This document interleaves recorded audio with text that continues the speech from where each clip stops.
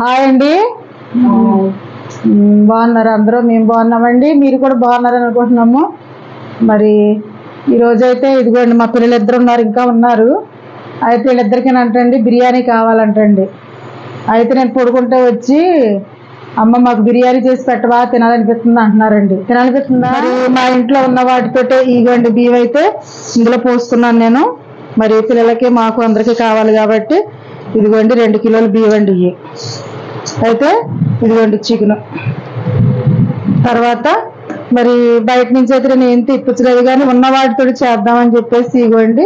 ఇవన్నీ మసాలా దినుసులు అండి ఇవి అయితే ఆకుకూరలు అయితే మా పైకి వెళ్ళి గార్డెన్లో కోసుకొచ్చుకున్నాను. తర్వాత ఇదిగోండి అల్లం పేస్ట్ అన్ని మసాలాలన్నీ కలిపి పేస్ట్ ఉందండి. ఇప్పుడైతే నేను రైస్ కుక్కర్లో వండుతానండి అది ఎలా వండుతానన్నది చూపిస్తాను. ఇదిగోండి నూనె అయితే కాగింది. నేను ఇందులో మసాలా దినుసులు వేసుకుంటున్నానండి. వేసుకొని ఇదిగోండి అల్లం చిన్నులపాయ ధనియాలు అన్నీ కలిపేసి పేస్ట్ వేసుకున్నానండి. ఇంట్లో ఉన్నవాటి కూడా చేసుకుంటున్నానండి నేను. బయట నుంచి ఏం తేలేదు. మరి కొన్ని కొన్ని లేవు అయినా కానీ పిల్లల పాపం ఆశతో అడిగారు కాబట్టి నేను పెట్టకపోతే ఎవరు పెడతారు వాళ్ళకి పాపం మరి అందుకని వేసుకున్నాను వేగుతూ ఉన్నాయి. ఇందులో ఇదిగోండి మా గార్డెన్ నుంచి కోసుకొచ్చానండి పుదీనాకు చాలా స్మెల్ గుమాయిస్తూ ఉందండి. అదిగోండి కొత్తిమీర. తర్వాత కొన్ని టమాటాలు వేస్తానండి ఉల్లిపాయలు అయితే వేయట్లేదు నేను. టమాటాలు కొన్ని ఇంకోసారి మనకి ఇంట్లో ఏముంటే వేసుకుని వండేసుకుంటామండి. అది లేదు ఇది లేదని అనుకుంటా. చూడండి ఎంత బాగుందో. రెండు రేతే అయిపోయింది వేపడం చేగిపోయింది బాగా. మంచి స్మెల్ మాత్రం బాగా వచ్చేస్తున్నాను కొంచెం లైట్గా కొంచెం చిటికడు పసుపు వేస్తానండి. ఎందుకంటే కలర్స్గా తేయట్లేదు నేను. అందుకని చెప్పేసి ఇదిగోండి. అయితే ఇది వేగిపోయింది.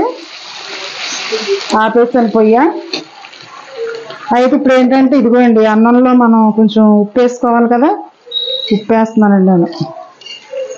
ఆ బియ్యానికి తగినంతగా ఉప్పు. ఇప్పుడు ఏం చేస్తానంటే ఇదిగోండి ఈ తాలింపు పెట్టింది మొత్తం మసాలా వేయించిందంతా ఇదిగోండి ఇందులో కలిపేస్తాను. అయిగోండి వేసి కలర్ఫుల్గా ఉందో ఎంత బాగుందో చూడండి. ఇదిగోండి.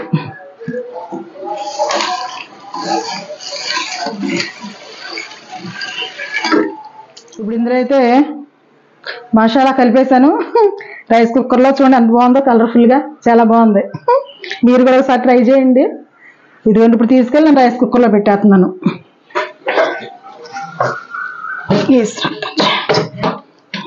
మతేది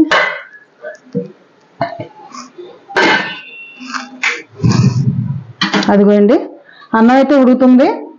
తర్వాత ఇది అయ్యేసరికి నేనైతే కూర రెడీ చేసుకుంటానండి. చూపి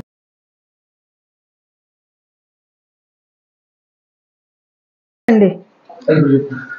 పొయ్యలు ఇచ్చానండి. అది కూడా సట్టి పొయ్యి మీద పెట్టాను. ఇప్పుడు నూనె పోసుకుంటానండి కూరకి. మరి అందులో తక్కువ ఉంది కదా ఇందులోంచి పోద్దాం. ఆయిల్ కూరకే. అన్నం ఉడుకుతా ఉంటుంది. ఇదిగోండి. నూనె అయితే పోసుకున్నాను అందులో ఆయిల్. తర్వాత ఇక దానికి కావాల్సినటువంటి ఉల్లిపాయలు పచ్చిమిరపకాయలు టమాటాలు. ఇప్పుడు నేను ఏమి వేస్తానంటే ఉల్లిపాయలు వేస్తానండి. న్యాచురల్గా తీసుకుంటామండి వేడివేలు కానీ వండుకోవటం కానీ అంతా న్యాచురల్గా ఉంటుంది. ఇవ్వండి వేస్తాను కదా వేస్తున్నాను. ఒకసారి తీసుకుందామండి మూత తీసి చూస్తాను. అదిగోండి వేగుతున్నాయి ఉల్లిపాయలు.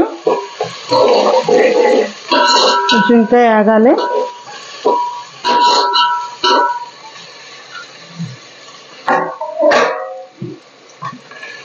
వేగుతూ ఉండగానే ఉల్లిపాయలు అయితే వేగుతున్నాయి కాబట్టి ఇంకొన్ని కొంచెం అల్లం పేస్ట్ అందులో ఉల్లిపాయలు తర్వాత ధనియాలు చెక్క లవంగ మొగ్గ అన్నీ వేసిన పేస్ట్ అండి.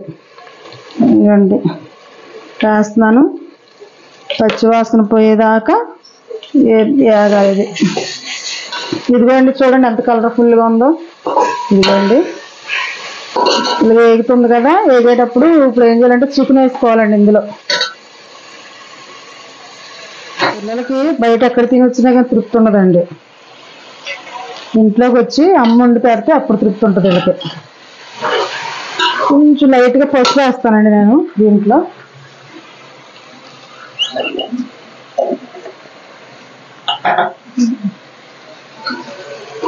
నీళ్ళు పసుపు అయితే వేసి బాగా తిప్పాలి.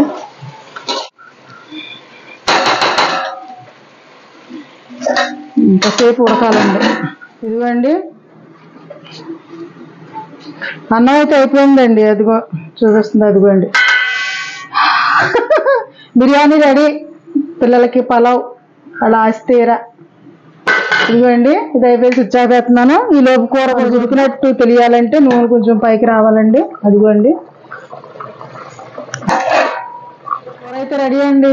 అన్నం అయిపోయింది. కూర కూడా అయిపోయింది. ఇదిగోండి లాస్ట్లో కొంచెం మరి మిగిలింది కాబట్టి కొత్తిమీర పుదీనా. ఇదిగోండి అయితే వేసాను. కూర మాత్రం చాలా బాగుంటుందండి. సేమ్ నాటుకోడి పులుసు లాగా ఉంటుంది. మీరు కూడా ఇలా ఎప్పుడన్నా వండుకోవాలనుకుంటే ఒకసారి ట్రై చేయండి. ఇంకోండి కూర అయితే రెడీ అండి. అదిగోండి రెడీ అయిపోయింది. చూసారా? ఇదిగోండి కూర. బిర్యానీ కూర రెడీ. ఓకే. మరి లైక్ చేయండి షేర్ చేయండి సబ్స్క్రైబ్ చేయండి. బాయ్ అండి.